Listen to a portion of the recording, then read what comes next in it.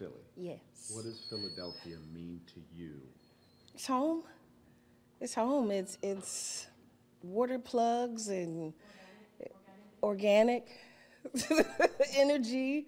It's it's real people um, living through, over, beyond. I know that sounds poetic, but this is Philly. We experience some tough things, and we keep finding ways to love and keep finding ways to be creative. That's what Philly did for me. It gave me strength. Second question, Mm-hmm. and then we're done. You're here. This is part of a legacy. Yes. 177 years, I was told by the principal. Hmm. And then this mural on Broad and Olney, there is a mural called Lumineer. That Yes. word means to inspire.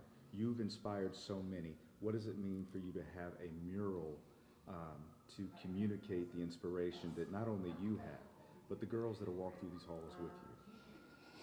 So, um, you know, I, I haven't even seen it at this moment. At this moment, I haven't seen it yet.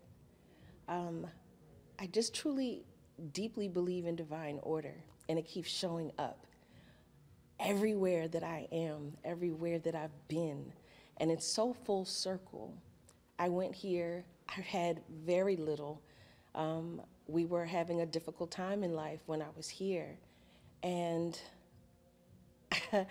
to to be on the the side of this building as an inspiration to these intelligent young women is beyond my imagination.